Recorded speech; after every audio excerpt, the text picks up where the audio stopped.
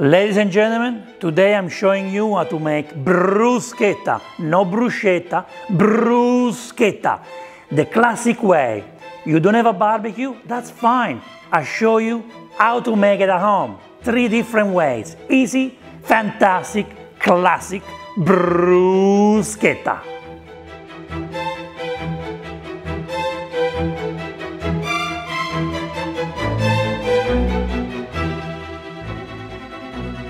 I have a fresh mouth right now.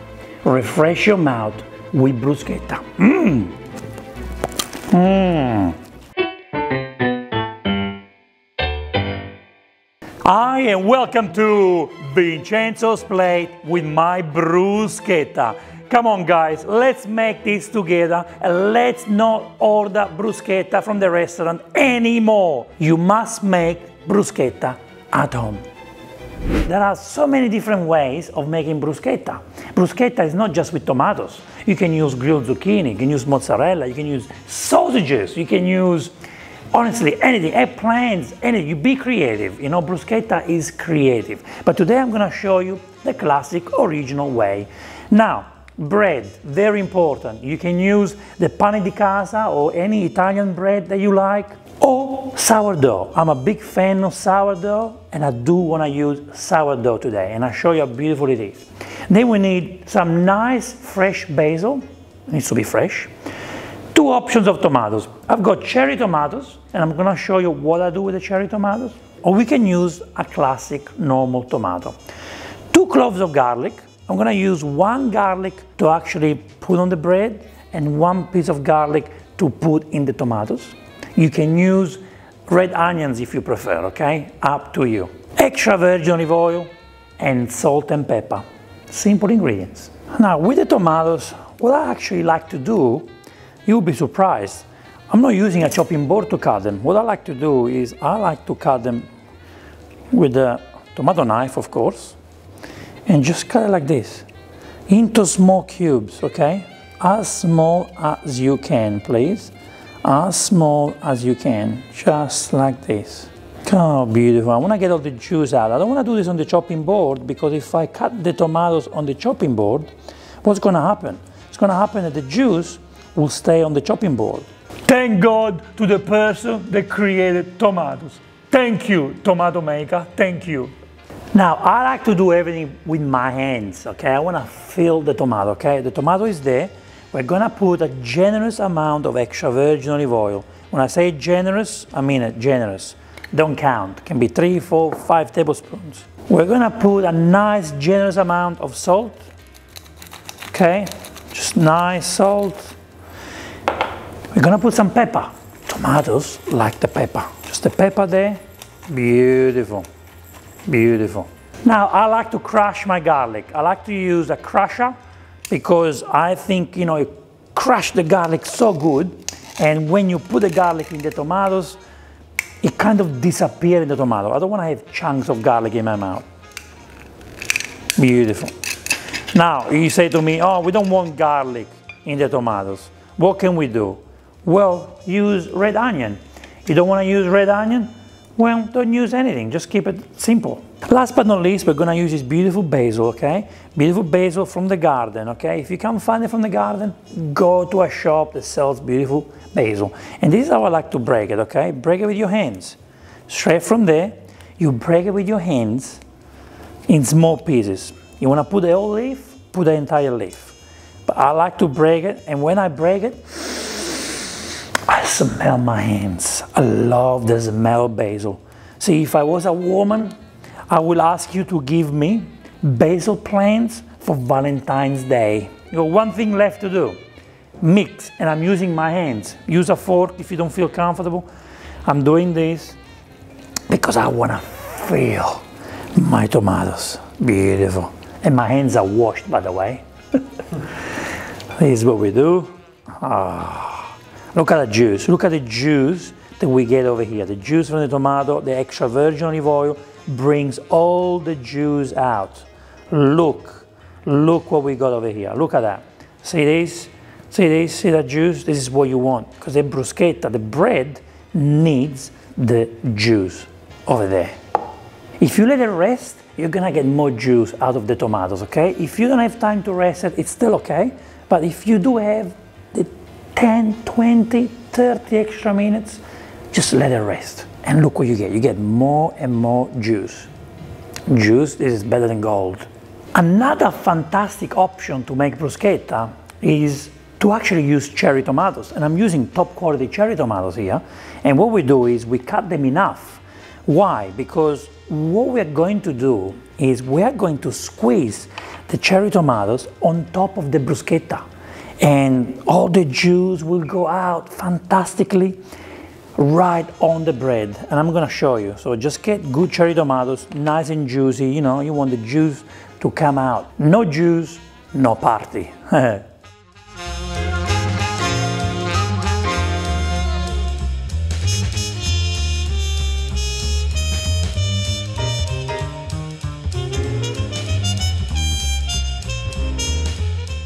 I'm going to show you how to cook the bruschetta three different ways.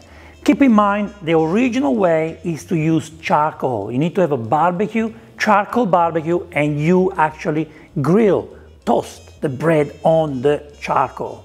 We are inside, we don't have charcoal, so what do we do? One, option one is the skillet. We're gonna put a skillet, very high temperature, on the cooktop. Other option is to use the toaster.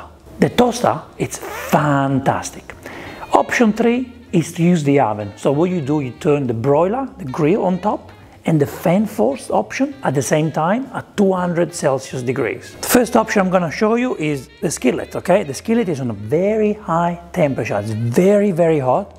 I can feel it. And what I'm going to do now is I'm going to put the bread and toast both sides. So um, when it's ready, I don't know when it's ready, we have to keep checking, okay? So in a couple of minutes, we go and check, and when we have those beautiful dark lines, it means our bread is ready to be turned.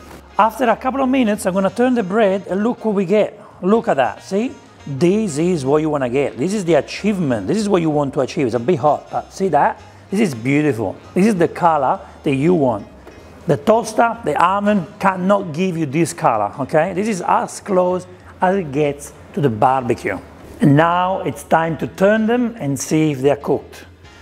Oh, yeah, they are. Look at this. Look at this beauty. Look at the perfect color. It looks like I cooked them on charcoal, but instead we use the skillet. It's fantastic. Now, what do we do? We put the garlic on top, so it melts on the bread. Look at that, look how beautiful it is. Beautiful melting garlic on top of the bruschetta. Fantastic. And now we're gonna put the tomato. Look at the juice there. Put the juice first, spread the juice everywhere. Yes, baby. Let's spread the juice. Now we add the tomatoes. Ah, yes, the beautiful tomatoes on our bruschetta. Ah, this is what we want, guys. You don't have to order bruschetta from the restaurant. Please don't do that. They can't put the love that you can put on your bruschetta. Look how much love I'm putting. Hmm? I'm not kissing the tomato, but they can feel the love. Look at that. Look at that. The basil on top. Basil on top. We put the extra juice on top. Wow and first bruschettas are ready to be eaten. Come on.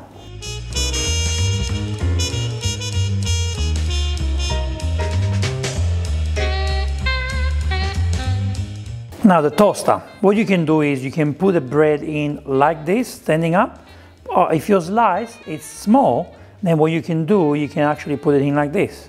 And the toaster is the faster option, okay? It's gonna do the job in no time, okay? So this bruschetta will be quickly done.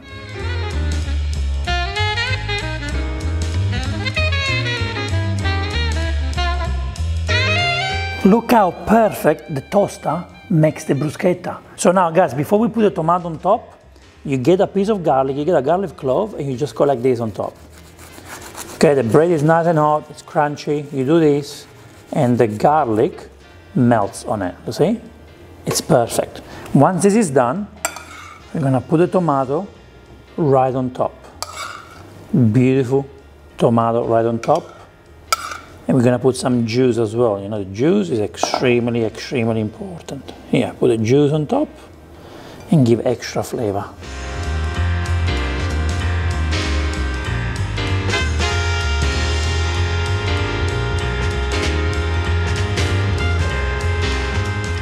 Now the third and last option is to actually cook the bruschetta in the oven. So you need baking paper, you put a bread here on top, and then we place it in the oven. But what we use is, we need to use fan force and the grill, the broiler, together at the same time, okay? So we cook from the top, from the side.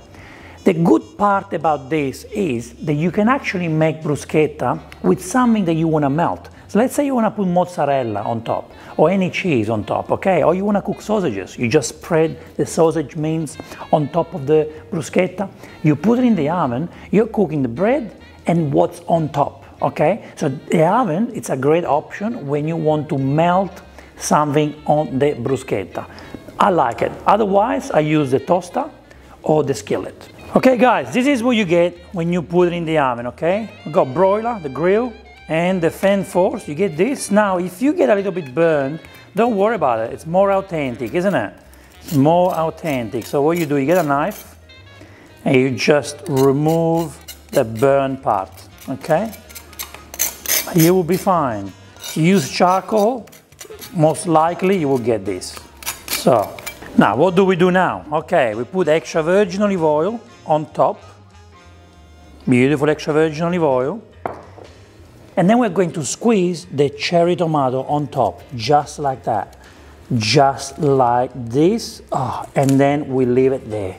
Okay, so one, we got two, look at that, look at the juice. Look at this juice coming out, look at this juice. Two, then we have another one here. So three, yes, baby, yes, baby. And then the one again here, beautiful juice. Look how much juice we have on this.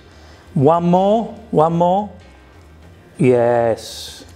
And here we have one bruschetta with a little bit of basil, sprinkle of salt, some pepper, and here we have the bruschetta with fresh cherry tomatoes. And here is how you make the cherry tomatoes bruschetta.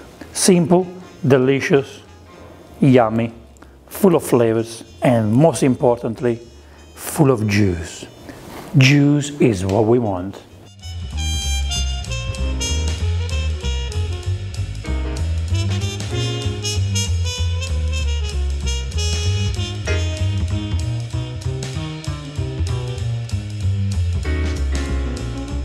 Guys, this is the best time of the video recipe, the moment I've been waiting for. Time to eat. Look at this beautiful bruschetta. Mmm. Mmm. Listen to the crunch. Listen to the crunch. Mmm. Mmm.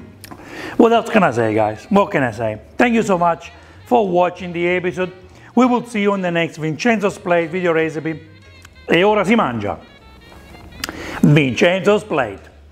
Go to the shops, buy the tomatoes, buy the bread, buy the basil, and make your bruschetta.